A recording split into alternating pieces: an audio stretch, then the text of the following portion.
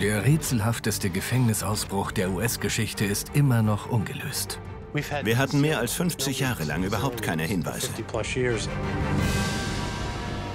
Die Flucht von Alcatraz im Jahre 1962 führt zu einer gnadenlosen Menschenjagd. Der Ausbruch war beschämend für das FBI. Eine unschuldige Familie aus Florida gerät ins Fadenkreuz. Damals tauchte ständig das FBI bei uns auf. Sie haben unsere Telefone verwanzt. Es war grauenhaft. Bis sie schließlich ins selbstgewählte Exil geht.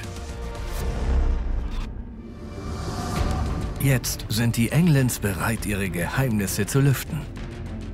Wir haben Beweise dafür, dass sie mindestens bis 1975 am Leben waren. Es wäre ein Segen, wenn dieser Fall gelöst würde. Sowas habe ich noch nie gesehen. Damit der Fall endlich zu den Akten gelegt werden kann. Wirklich unglaublich. Die Wahrheit wird die Leute schockieren.